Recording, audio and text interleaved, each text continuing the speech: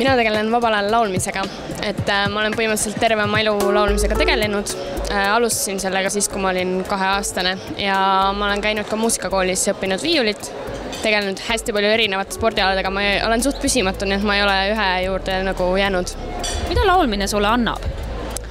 Äh, ma ei tea, ma tunnen nagu ennast vabana, kui ma laulan või, ja see on andnud mulle suure lavakogemuse, et äh, ma suudan äh, suure publiku ees ennast nagu kehtestada ja ma suudan rääkida suure publiku ees, et ma arvan, et kindlasti enesekindlust ja sinuga, millega sulle meeldib tegeleda? mulle meeldib ka laulmisega tegeleda, igasugust vabadust ja enesekindlust ja ma ei ole kunagi lavanärvi küll ei teki, nii siis, kui peab rääkima inimeste ees, kui siis, kui peab laulma.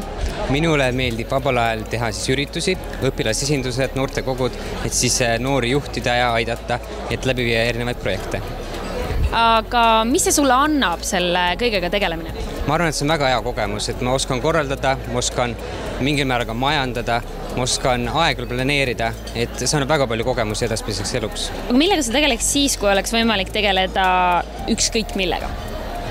Ükskõik millega mm,. issand, see on nii raske küsimus. ma arvan, et ma tegeleks millegi sellisega, millega paljud inimesed ei tegele, midagi ainulaadset, midagi sellist, mida noh, täpselt, et mis oleks nagu selline, millega ma silma võiksin paista. aga mis hetkel takistab sul sellega tegelemast? Ma ei tea, mul on nii palju praegu nagu teha, tegeleda nende asjadega, millega ma praegu tegelen. ma õpiks rohkem keeli, et äh, ma käisin ka vahetusaastal ja siin mulle meeldivad keeled ja ma õpiks nii palju keeli kui võimalik. Ja mis sind takistab? no hetkel samamoodi, et äh, kool on hea, kool tuleb ära lõpetada. isegi mingid mõtted, et võiks kunagi täitsa inseneriks saada ja, aga samas võivad ka muutuda need mõtted, aga kindlasti see on midagi sinna kahe vahel, et see organiseerimine ja siis kuskil niisugune hea haridus ka. kas on midagi, mis praegu takistab sul tegelemast sellega, mida sa tahaksid äh, teha? ma arvan, et see on minu, mina ise ja minu mõistus. millega sa vabal ajal tegeled hea küsimus käin ennast harimas koolitustel ja siis veedan sõpradega aega. mida need koolitused sulle annavad? isiklikku arengut põhiliselt. aga kui, kui sa uni, unistaks natuke ja mõtleks selle peale, et eh, kui sul oleks ükskõik millega võimalik tegeleda, millega sa tegeleks vabal ajal? driftimisega. mis asjaga? driftimisega. mis see on, kirjeldad äkki? Autoga külg, külg ees sõitmisega kurvides. aga mis sind takistab sellega tegelemist? raha, see on kallis hobi hetkel puhkan töölt ja siis ega siin linnas eriti midagi teha ei ole nagu.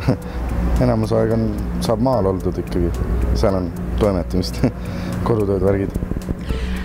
millega sa tegeleksid, kui kõik oleks võimalik, kui kõik vahendid, kõik aeg ja nii edasi, kõik oleks vabalt valida?